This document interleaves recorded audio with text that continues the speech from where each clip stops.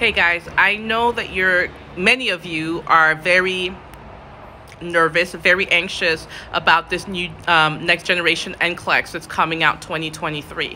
I have good news and I have bad news. Well, it might not be bad news depending on how you look at it, but let's start with the good news.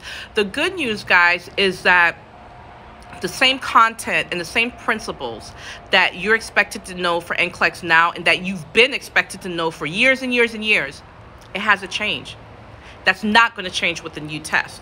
You're still expected to know those uh, concepts and principles, you know, the expected treatment plan, the contraindications, the medications, the adverse effects, the nursing interventions, the nursing assessment, the patient teaching, all of that.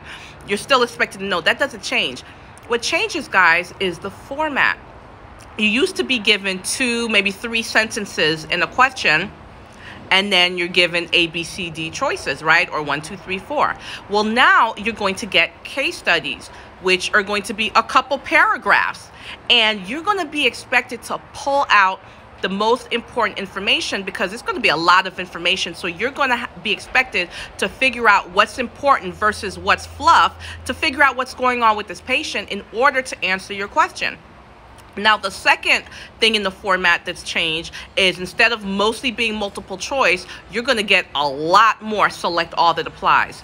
Putting um, nursing assessments um, or uh, nursing interventions in a particular order.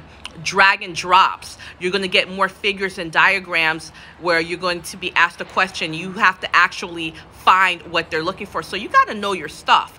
Um, or you may be expected to listen to a particular sound not only know what that sound is know what your nursing intervention is going to be for that sound so it's more complex and more detailed where you really have to know your stuff um, and NCLEX, you were never able to BS it. Never. However, um, with the NCLEX that we have now, there's certain testing strategies that I teach you how to pass that even if you don't know the answer, you could still get away with.